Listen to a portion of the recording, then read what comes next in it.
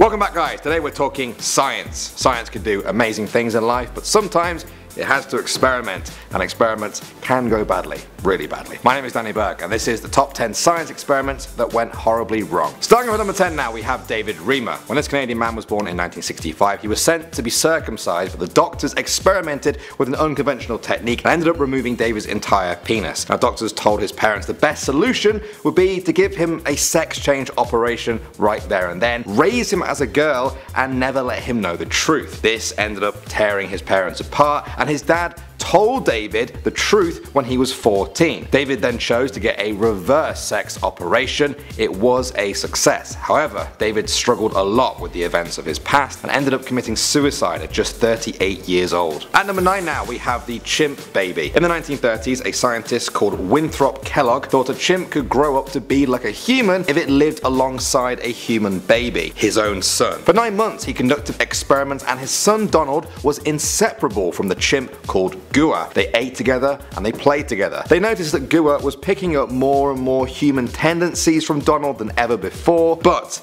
the experiment came to an abrupt halt when Donald, the human baby, began to regress and become more like a chimp. Apparently, he would just sit there howling and wailing and would struggle to pick up even basic language like a normal human baby. The experiment was stopped immediately. Alright, at number 8 now, we have the monster study. This 1939 experiment was conducted on 22 orphans to see how children responded to positivity and negativity when it comes to speech therapy. Half the children were praised for their efforts while the other half were teased and belittled for their speech imperfections. Many of the children who received this negative feedback went on to suffer serious psychological damage for the rest of their lives. It was so bad that some of them could barely even speak again. The monster study got its name from its shocking experimentation on orphan children just to prove a hypothesis. Alright guys, coming in at number 7 now, we have Tusko. This one was just messed up, if I'm honest. In 1962, when the CIA was absolutely obsessed with finding out the effects of LSD,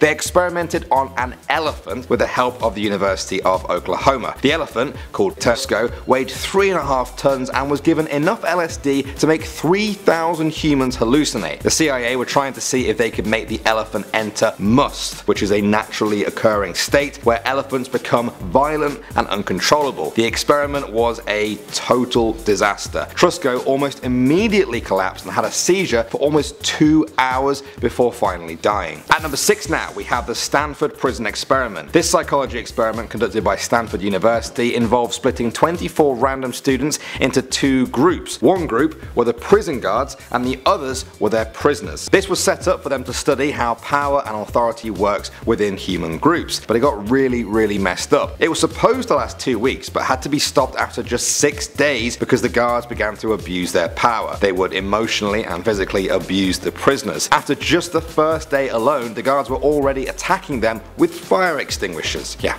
some of them suffered serious mental and physical injuries for life. Moving on to number 5 now, we have the yellow fever experiment. Dr. Ffirth was a scientist who was trying to prove that yellow fever was not contagious and was actually due to the difference between summer and winter. Now in an effort to prove this, he tried to infect himself with yellow fever by drinking the vomit of victims. He also injected it into his body and even poured it onto his eyes. Well, it turns out he was right about the whole seasonal thing but for the wrong reason. It's mosquitoes that are the ones who spread yellow fever and they hibernate in the winter. So all the vomit drinking and pouring in the eyes was for nothing. At the number 4 spot now we have testicle radiation. In 1963 researchers offered prisoners in the Washington and Oregon area $25 to participate in reproductive radiation tests. Now they were told they wanted to see how a normal dose of x-ray level radiation would affect a man's testicles. Instead they hit them with about 6 times that amount of radiation. The prisoners as you might expect developed testicular cancer, they became sterile and had many other health problems. The class action lawsuit only gave $2,000 to each of the victims. We're at the number 3 spot now and we have TGN1412. This was the name of an experimental drug used to treat leukemia. As with most drugs for humans it was first tested on animals to see if it was non-fatal. It wasn't.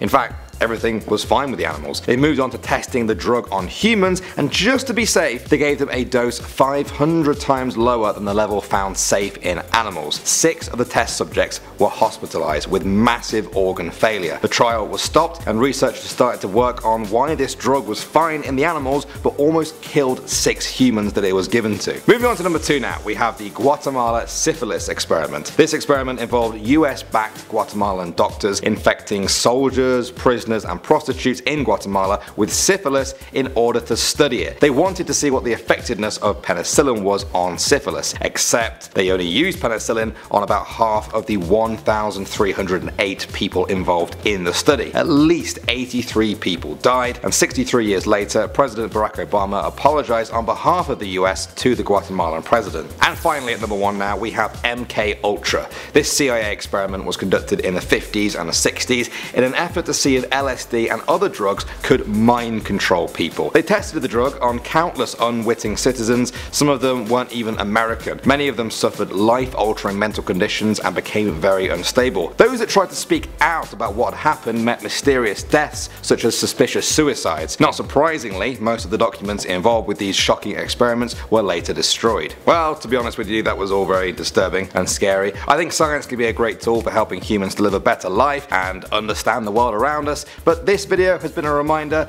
that it can always go wrong. Would you guys like a part 2? Give me your video suggestions down below. I'm Danny Burke, thanks for watching and I'll see you all in the next video.